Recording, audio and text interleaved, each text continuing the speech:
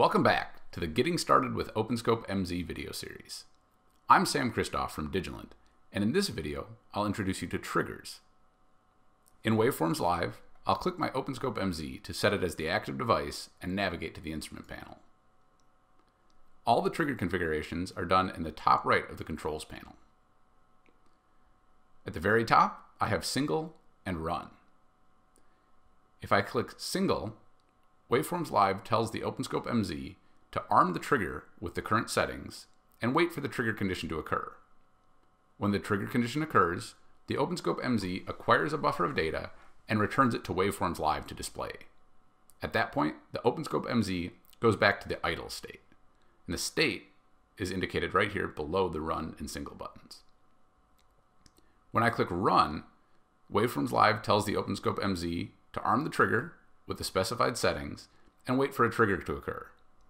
When the trigger condition occurs, the OpenScope MZ acquires a buffer, of data and returns it to Waveforms Live. In run mode, the trigger is immediately rearmed after a successful acquisition.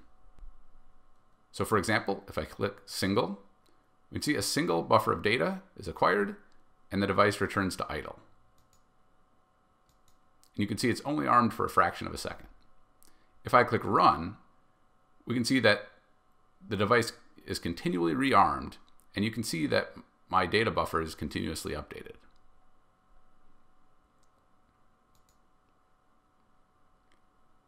In the trigger section, I can set the trigger type to rising edge, falling edge, or off. By default, it's set to a rising edge.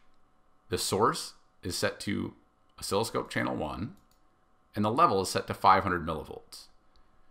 You can see in the chart, the green line indicates where the trigger occurred, and the green arrow indicates the trigger threshold. So we can see that the trigger occurred when the signal crossed from below our 500 millivolt threshold to above it. And we can see data that happened before the trigger and data that happened after the trigger condition. If I change the trigger to 1 volt and hit single again,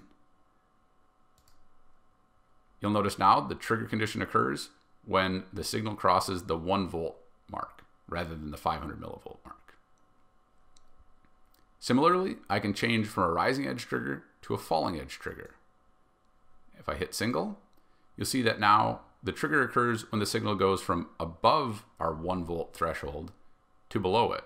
So when it crosses that threshold from above, that's when our trigger condition occurs. If I set the trigger to off, the OpenScope MZ will acquire data as soon as I click single without waiting for a trigger condition to occur. And you'll see it could occur anywhere in our signal.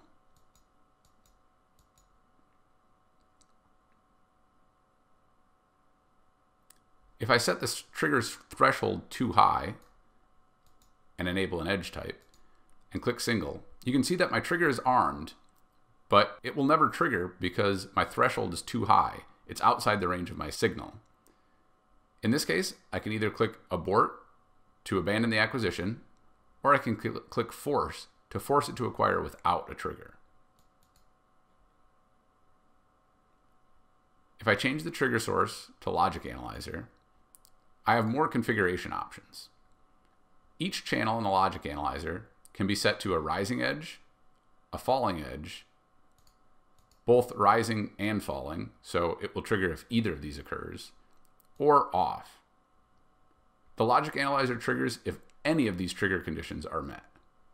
You can set them each per channel, or you can set every channel to say, I want the logic analyzer to trigger on any rising edge, any falling edge, any edge at all, or off. And that does it for the basic overview of triggers with Waveforms Live and the OpenScope MZ.